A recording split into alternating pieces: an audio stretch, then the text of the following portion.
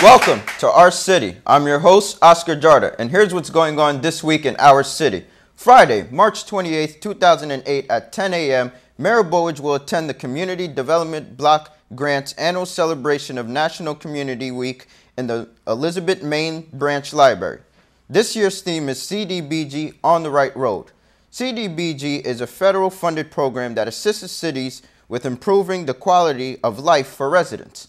Later in the evening, Mayor Bollwage will join members of the Union County Commissions on the status of women in their 16th annual dinner in Garwood. The event will honor women who have made significant contributions in their chosen occupations and or in their communities. On Sunday, March 30th, 2 p.m., Mayor Bollwage will join Kean University President Dawood Farahi in the 2008 Kean University Foundation Scholars Recognition Ceremony. The event will have photo ops and the Scholarship Awards programs in Downtown. For more information, call 877-737-3868. Once again, the number is 877-737-3868. If you need more information concerning these or any other events this week, please call the Public Information Desk at 908-820-4124. Once again, the number is 908-820-4124. Once again, I'm your host, Oscar Jarda. Welcome to Youth View. And I'm your co-host, Imani Lewis. Today we're going to be discussing peer pressure. Now for those who haven't noticed, premarital sex, drug use, and peer pressure have become a growing epidemic in our community. Today we have a young panel here to discuss the situations they are faced with every day. Now let's introduce the cast and have them say a little something about themselves. Hello, my name is Ashanti Mars, and I attend Elizabeth High School, Jefferson House. Hello, my name is Clinton Miller. I'm the Student Assistance Counselor at Elizabeth High School, Halsey House, where I work with students. Mr. Miller. Yes. What effect do you think television has on drug use and abstinence? Um, unfortunately, I believe that it has a very powerful negative effect because what teens see on television is what they eventually do, um, and there's no set standard for abstinence or not no there's no standard against premarital sex. Everybody's doing it. Students at home it's in the movies it's on any hbo uh, it's just all over the place. So it's there's no curb or restraint on television. So i believe the students or young people are affected by that.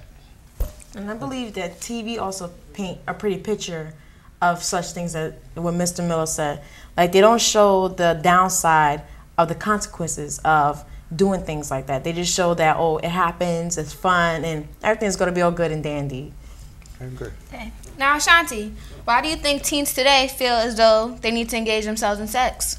Well, I think it has to do with stereotype and also media. Media portray things that are just good and you know that there's no consequences, and also they just think that because they're young and teenagers that they're invincible that you could just do something and it won't affect you tomorrow or later in your life. Little do they know that there's a lot of diseases and they're very deadly. Now mr miller do you think that peer pressure is a result of the growing number of pregnant youth in our community? Uh, to a certain degree but i believe more so that there's uh, less parental involvement. Uh, parents are not at home. Mm-hmm. Uh, students have a lot of time where they're alone. Um, and they start at a very young age because in the situation at home might not be where there's rules and regulation. There's a lot of freedom. So you have time for girl and a guy get together and teens are teens. So since they're free and there's no restrictions, they tend to do that. Same here. So, Ashanti, what effect do you think peer pressure has on sex? Well, I believe peer pressure does play a major role in sex. Mm-hmm. Um, it's I think it's it's been passed down through generations actually since I don't know when, but people think that oh because you're a teenager and you're young, you know, okay, then we're supposed to do this. This is what teenagers do, and this is what they have been doing since the beginning of time. You know, you're young, you can have as many partners as you want, and you know, and everything's going to be okay, which is not true. And I also think too that the value system has changed. Where there used to be a greater value system in the home, Absolutely. where someone would say to you, "This is the right thing to do, the wrong thing to do." Uh, I believe that they almost non-existent. You always have almost have to get values outside the home. Uh, young people who have someone they can look up to they will tend to follow their values. If you don't have any direction, then you're going to do what you think is right. And many teens don't have an idea. They think it's okay, uh, not thinking of consequences. But I think it has to do with the value system, our values, And I or lack of values. and I believe too many parents are handing their children condoms rather than just sitting Right. down talking to them about you know the situation, what it is, and the responsibility that you carry with that. They're not telling them that oh I would rather for you to wait till until you're married. They're just saying like oh just be safe, and you know it's life is not like that. Agreed. And Mr. Miller, drug use has become a very, very, very crucial topic in our community. Now, what role do you think peer pressure plays in that? Um, again, it's, a very sad situation. It goes again about back to I believe about values because if you're not taught, first of all, who you are and how you feel about yourself, or you a bunch of your friends, then uh, you don't want to be called a punk. You don't want to be called, you know, whatever teens call them, themselves these days. So you'll do it, even though you might not want to do it, even though you feel something your parents, in a case where you might be taught, don't get involved in drugs because if you, oh, some kids say, well, I just I'm just smoking and I can quit when I get ready, whether it's uh, marijuana or it's tobacco. And uh, if you're not strong enough a person of who you knowing who you are and have and be rooted and grounded and feel good about yourself, then you're you're more likely to follow what your friends say as opposed to saying, you know, no, man, I don't want that. I don't want to get involved.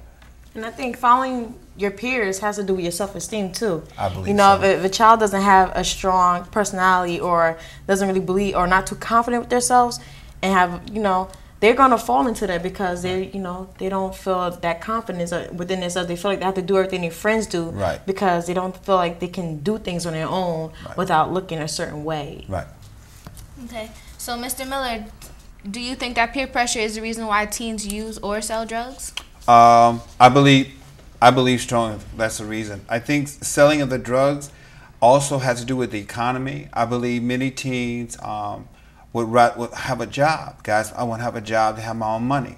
Uh, and unfortunately, they're blinded by its quick, fast money. Uh, they don't think about the legal consequences, and if they are caught, they are just the, the, the, the low guy on the, the totem pole. They they might get caught and go to the county, have served time, whereas a person who's a supplier up the line, they're getting off scot free. The other thing too is the um, the, the the use for money. So our system is that there's a the unemployment rate among teens, especially uh, African American Latino teens, is very high. So uh, the there are more teens out there that want jobs. I believe that for that to turn around, more businesses should open up their doors, even if they have to have a training program to hire teens. I also believe that teens need to try to seek out people to show them how do I go for an interview? What do I do? How do I dress? Because I speak to them all the time. You can't, you don't go to an interview with your best friend. True. You know, you go for an interview seriously for yourself. You have to dress a certain way. So there's certain things that teens don't know, even how to go interview for a job. And I believe they need to seek out people who they have a relationship with, an adult, to say, "What I want to get a job. What should I do? How should I dress? What do I need to know?" And I think it's very important. So those persons who are knowledgeable should make themselves available.